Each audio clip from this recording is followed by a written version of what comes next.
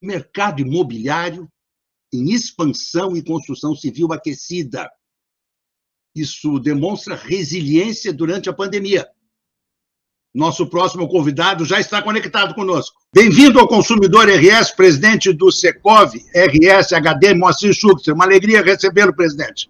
A alegria é nossa aqui de sempre poder estar conversando contigo, que é um interlocutor muito inteligente e, e muito perspicaz. Então, é, para nós é uma satisfação também, pode acreditar, grande. Uma alegria, presidente. O senhor sempre gentil comigo.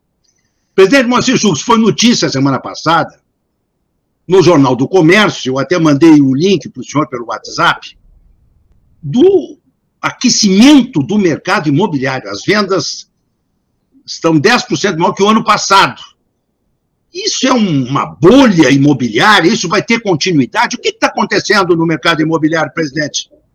Olha, é, não, não, é, não, não é uma bolha, pelo seguinte: é, mesmo no, no, tempo da pandemia, o, a quantidade de imóveis que eram vendidas mensalmente, ela nunca decaiu, por exemplo, abaixo, digamos, de 30% do seu do seu topo, digamos assim. Porque nós aqui na, em Porto Alegre, que nós mantemos uma estatística mais é, aproximada, nós vemos o seguinte: é, em Porto Alegre se vende de 3.000 a 3.300 é, unidades de imóveis mensalmente. Quando houve, em 2020, tivemos a pandemia, nós tivemos assim os meses onde a queda foi expressiva. E aí, então, nós tivemos essa queda de 15%, 20%, teve um mês que foi a 30%, mas não baixou disso. Ou seja, ficamos sabendo por ali de que os negócios imobiliários continuavam a surgir. É, são negócios que, que estavam entabulados, mas a, a partir do momento em que as pessoas sempre gostam de ter a sua propriedade, os negócios acabaram saindo sem dúvida nenhuma. Então, o que, que aconteceu? Em 2020, a partir de março, houve uma queda, só que essa queda foi aos pouquinhos se recuperando, e ah. quando chegou em, em setembro, outubro, novembro, dezembro, ela foi aumentando e nós tivemos, nos três últimos meses de 2020, praticamente a mesma quantidade vendida nos bons tempos, ou seja, acima de 3 mil por mês. Isso foi interessante. Bom, Muito. Depois é algo que eu já disse aqui, nós tivemos janeiro e fevereiro, que é um mês, são meses de baixa de, de, de negócios, que, que é por causa de, de, de verão, Sim. férias e tal. É. E depois, então, começamos a ter é, negócios em, em boa quantidade. Tanto é, tanto é, que nós agora, em 2021, nós vendemos mais, houve aqui, aqui em Porto Alegre, foi vendido 27% mais que em Nossa. 2020. Houve uma, Mas, uma, expressivo isso, né? Expressivo, expressivo, expressivo. E uma coisa muito interessante é de que nós acompanhando pelo ITBI recolhido pela prefeitura em relação à, à quantidade de vendas,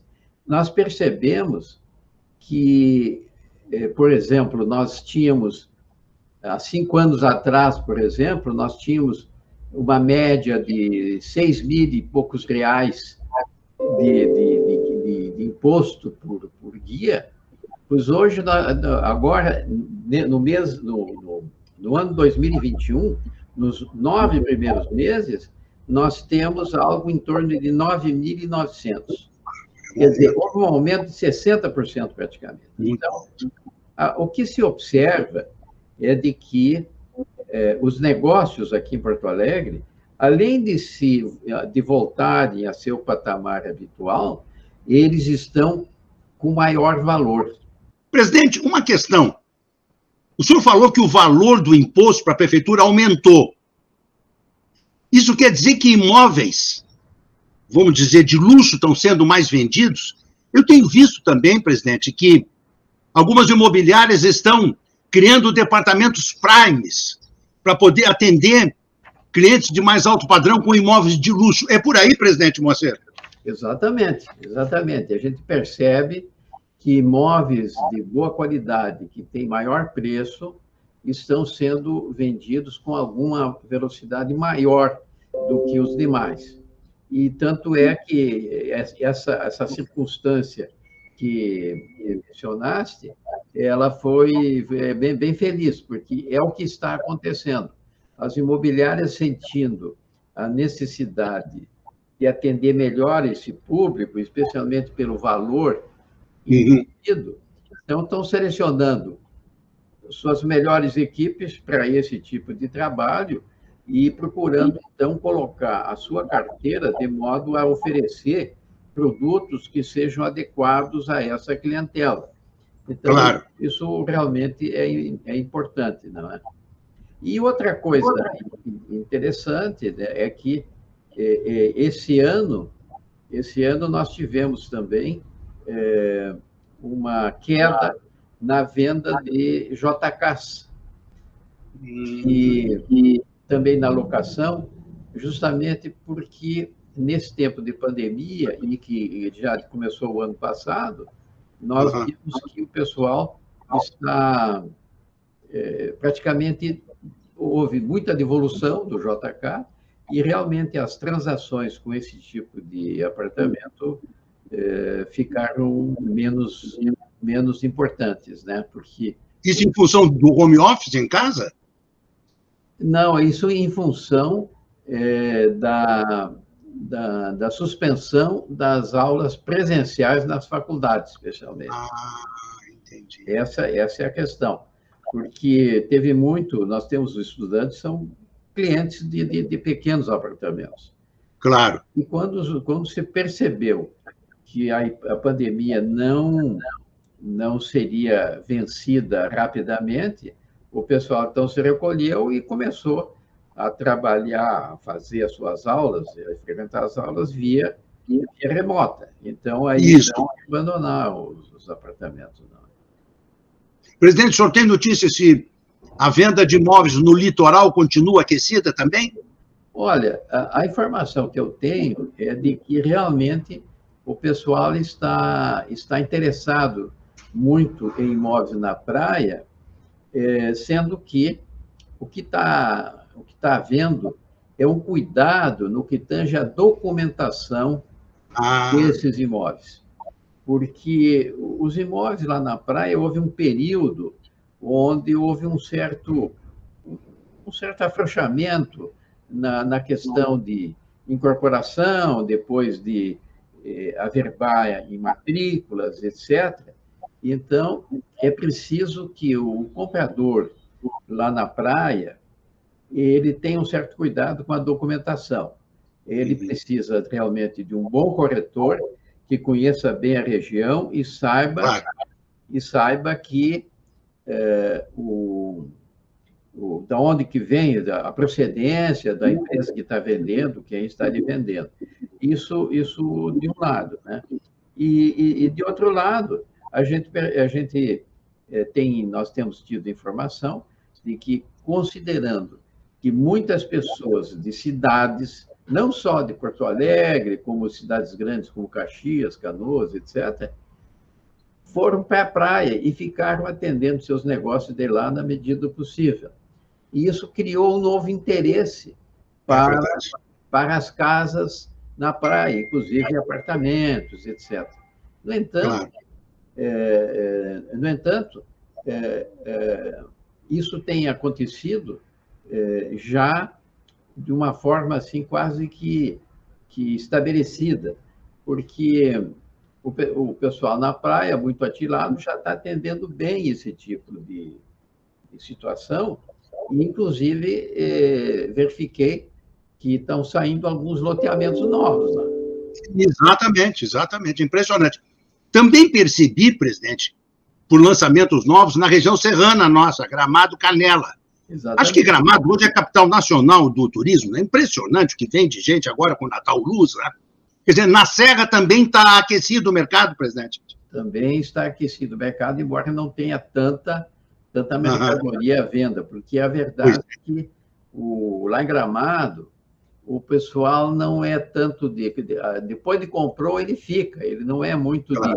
de estar tá trocando de imóvel e agora inclusive eh, Gramado tem sido muito hábil eu digo o município de Gramado porque já estamos percebendo eh, especialmente nas TVs nacionais a propaganda justamente do Natal lá em, em, em Gramado e Canela também e está muito bonito, está muito bonito. Isso aí traz, traz uh, clientes que ficam claro. encantados com aquilo e, às vezes, então, acabam comprando.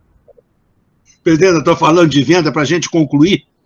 Me dê um panorama das locações e dos condomínios. Muita inadimplência nos condomínios ou não?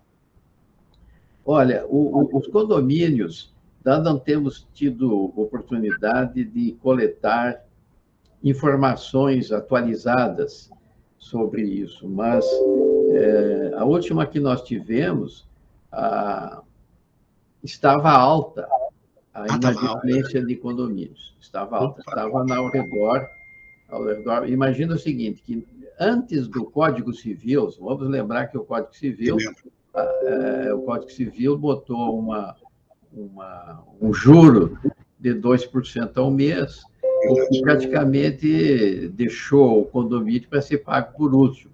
Exatamente. É, então, depois disso, a, até ali, a nossa inadimplência no primeiro dia era 10%. Uhum. Hoje, está em cerca de 18%. É, é Esse é um problema. Inclusive, trazendo ao síndico uma dor de cabeça adicional, porque além dele ter que entrar na justiça contra o, o seu vizinho, ele se vê na contingência de ter que pedir mais dinheiro para os que estão adimplentes. Pois é, isso é muito ruim, é verdade. Isso é muito ruim, né? Essa é uma situação. No que concerne a locação, é, posso lhe dizer o seguinte, que, que infelizmente, a, a, quantidade de imóveis tem crescido à disposição de locação. É, o tanto que o residencial, no último ano, aumentou 15% a quantidade de imóveis e a, e a, a comercial 10%, em termos de quantidade oferecida. Né? Claro. Mas, em compensação, nós tivemos um aumento na velocidade de muitos imóveis. Então, isso aumenta, aumentou. Embora, embora hoje a nossa estatística mostre que a, que a, a média está levando ao redor de, de 14 meses, que já foi sete meses, seis meses, é verdade. tempos. A, a verdade é que isso está se mantido alto justamente porque o estoque aumentou. Claro. Se nós continuássemos reduzindo o estoque, isso não seria, não, né, essa, essa, essa média baixaria. Né? Com certeza. Mas eu, eu posso, em, em, em síntese, viu, Apple, te dizer que o mercado de, de Porto Alegre está se, se, reagindo, reagindo muito bem. Tanto é o seguinte, e vou dizer uma coisa mais aí para quem, quem nos ouve.